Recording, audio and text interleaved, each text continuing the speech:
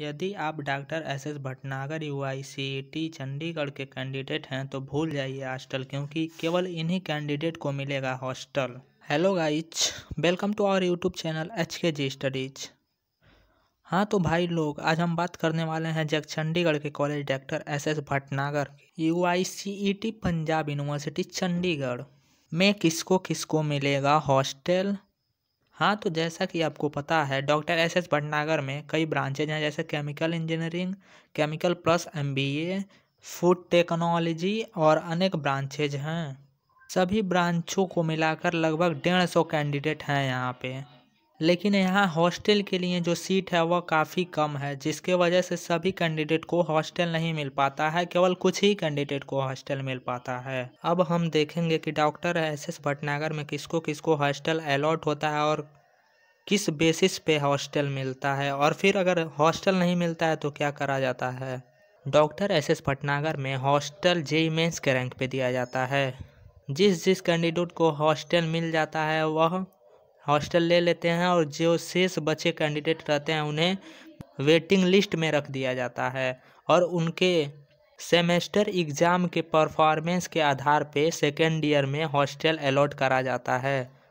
जो जितना बढ़िया परफॉर्मेंस करता है, उसे उतना जल्दी हॉस्टल मिल जाता है और बाकी जो कैंडिडेट रहते हैं, उन्हें हॉस्टल के लिए फिर अगले वेटिंग लिस्ट का इंतज़ार करना पड़ता है। हाँ तो यहाँ केमिकल इंजीनियरिंग में लगभग पंद्रह कैंडिडेट को हॉस्टल मिल जाता है, जिसमें लगभग आठ से नौ कैंडिडेट जो होते हैं, वह तो केवल जनरल कैटेगरी के होते हैं, बाकी two candidate SC category, two candidate BC category, two candidate ST category और जो से सीट बजाता है, उसमें अदर कैटेगरी के कैंडिडेट आ जाते हैं।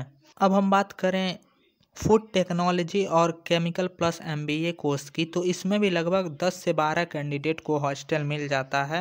यहाँ हॉस्टल के लिए सबसे बढ़िया बात यह है कि यहाँ हर कैटेगरी के लिए कुछ न कुछ सीट रिज़र्व होता है, जो मिलता है। एक और इन्फॉर्मेशन हम आपको बता रहे हैं, डॉक्टर एस एस भटनागर के कैंडिडेट चाहे वह किसी भी राउंड का हो, राउंड वन का, राउंड टू का, राउंड थ्री का, या किसी भी स्पोर्ट राउंड का हो सभी कैंडिडेट को सेवन्थ नवंबर को कॉलेज में प्रेजेंट होना है और अपने सभी ओरिजिनल डॉक्यूमेंट को लेकर आना है, क्योंकि सेवन्थ नवंबर को ही हॉस्टल अलॉट होगा और एट नवंबर को कॉलेज में हॉलीडे है और नाइन्थ नवंबर से एस एस भटनागर की क्लासेज स्टार्ट हो जाएँगी। बस यही था आज का वीडियो तो कैसा लगा आपको वीडियो कमेंट में ज़रूर बताएँ। और अगर अभी तक आपने वीडियो को लाइक नहीं किया तो वीडियो को लाइक कर दें और चैनल को सब्सक्राइब कर दें। मिलते हैं अगले वीडियो में, तब तक के लिए बाय बाय, जय हिंद।